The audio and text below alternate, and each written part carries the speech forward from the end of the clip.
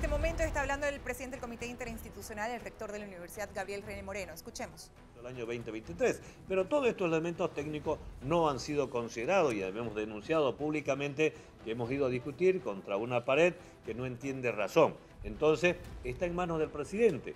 Está en manos del presidente eh, promulgar un nuevo decreto supremo que fije la fecha de realización del censo. Está en manos del presidente pacificar este país. Está en manos del presidente de que también tome una determinación para que pacifique Santa Cruz, que ha estado peleando no un censo para los cruceños, sino un censo para todos los bolivianos. Con esta promulgación en el 2024, ¿pierde Santa Cruz, doctor, por favor, con esta promulgación de este decreto 2024? Yo creo que el fondo, en el fondo no pierde. ¿Por qué? Porque nosotros habíamos planteado que los resultados, primero, sirvan para la nueva redistribución de escaños. Habíamos planteado que los resultados sirvan para que a partir del 24 se distribuyan los recursos económicos. Habíamos planteado de que los resultados se conozcan en el año 2024, porque eh, recordemos que el gobierno había planteado de que los resultados se iban a conocer recién entre el 25 y 26. Eso implicaba de que los resultados no iban a ser considerados para las próximas elecciones del 2025. Creo que el sacrificio del pueblo cruceño ha valido la pena y hemos conseguido eso. Sin embargo, el tema es que la fecha de realización del censo no hemos conseguido. Pero además también hay que considerar, cada día que pasa eh, no es un punto en contra para nosotros. ¿Por qué? Porque el calendario que ha presentado el Comité Técnico Interinstitucional no es fijo, eso se va a ir moviendo en la medida que vaya eh, pasando el tiempo. Y creo que el gobierno, ahí sí, no, no hicimos una lectura correcta, nos emborrachó con esa socialización en todos los departamentos y no tomamos de repente las acciones que deberíamos tomar ¿Para qué? Para que el gobierno no gane tiempo y nosotros no perdamos esto fue tiempo para ajustarnos. Esto fue consensuado, rector, con, el comité cívico, para con el gobernador y con las autoridades. Ha retrocedido? ¿Quién ha ganado? ¿Quién ha perdido?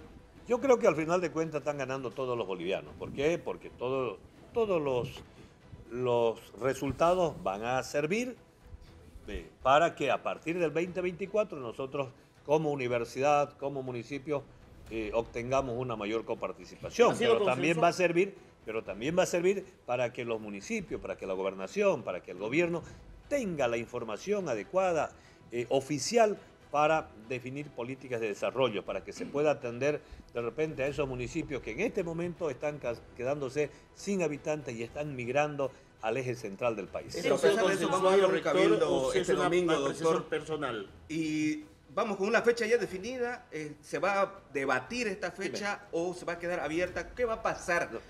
De mantener esta medida de presión que estamos hasta ahora ya 21 días. No quisiera, no quisiera, no quisiera, no quisiera anticipar que, cuál va a ser el resultado del cabildo. No quiero anticipar en este momento cuáles van a ser las preguntas, porque eso, vuelvo a insistir, corresponde por, por respeto que este, lo mencione el presidente del comité cívico. Lo que sí yo he mencionado que el, eh, que el pueblo eh, tiene que tomar la palabra. Las preguntas que seguramente el Comité Cívico va a hacer en esa instancia democrática eh, va, va, a ponerse a consideración de los asistentes y ahí obviamente se tomarán las determinaciones. O por último, ¿qué es lo que sigue de aquí en adelante? Rector, es una pregunta abierta la que le hice. ¿Esto, ha sido consensuado con las diferentes autoridades o es una apreciación personal? Vuelvo a insistir, el el llamado al cabildo no es competencia del comité técnico de la universidad. Nosotros somos parte del comité interinstitucional, pero no tenemos competencia para convocar a cabildo. Entonces, el dueño del cabildo, quien convoca a cabildo, es el comité cívico. Nosotros hemos venido aportando durante todo este tiempo con un trabajo técnico, académico, y vamos a seguir en esa línea. Obviamente que no podemos cerrar los ojos ante un momento difícil para el pueblo cruceño. Estamos sacrificándonos 21 días, 21 días que está paralizada esta locomotora de la economía a nivel nacional, 21 días que el pueblo cruceño está en las calles. Entonces, creo que hay que hacer una evaluación objetiva y corresponde trasladarle la palabra y la decisión al pueblo que ha venido disciplinadamente cumpliendo este... ¿Qué pasa con la huelga Por favor, usted anunciaba una huelga de hambre este fin de semana junto con los universitarios. ¿Esto se mantiene debido a que se ha adelantado el, el cabildo? Mire, este, yo había planteado una huelga de hambre. ¿Por qué? Eh, nosotros, le decía, no podemos cerrar los ojos ante un hecho que es real.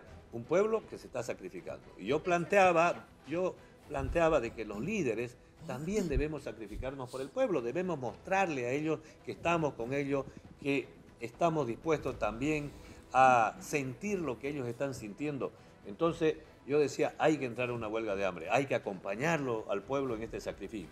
Si bien nosotros hemos venido trabajando en los aspectos técnicos, pero queríamos estar al lado del pueblo. Entonces, obviamente que la dinámica que está tomando este acontecimiento hace que por ahí eh, podamos reconsiderar la medida. Sin embargo, nosotros seguimos firmes de que los líderes tenemos que también mostrar un sacrificio al pueblo. ¿No preocupa esto, rector, que usted saque eh, esto a la luz y que las autoridades no hayan salido todavía a hablar de esta posición, de este cabildo el día domingo? Aún no han salido. Vuelvo a insistir, por favor. No soy yo el que convoco al cabildo, es el comité cívicos.